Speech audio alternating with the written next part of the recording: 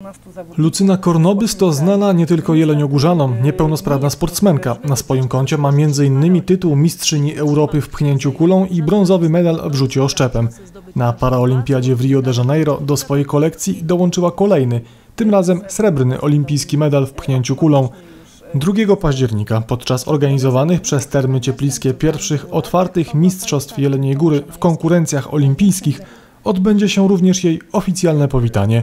W tej sprawie zorganizowano dziś specjalną konferencję prasową. Jej hard ducha, ta determinacja w tym, co robi, e, to w jaki sposób promuje Jelenią Górę, e, to wszystko no, powinniśmy my, mieszkańcy Jeleniej Górze, jej serdecznie podziękować.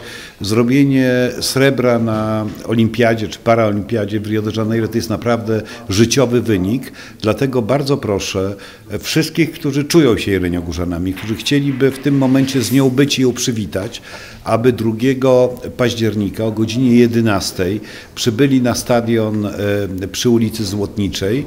Tam w trakcie mistrzostw e, sportowych miasta Jeleniej Góry w dyscyplinach olimpijskich e, przywitamy wszyscy wspólnie Lucynę.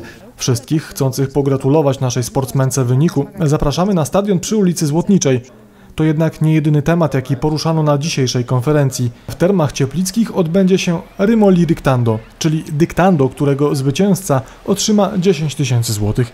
Zapisy na konkurs ruszyły już na stronie rymoliryktando.pl. Rymo Liryktando jest to impreza, która po raz pierwszy odbędzie się w Jeleniej Górze w termach cieplickich. E, My jesteśmy tak naprawdę operatorem, który udostępnia e, i obiekt, ale także zaprasza wszystkich e, miłośników pisania, czytania języka polskiego.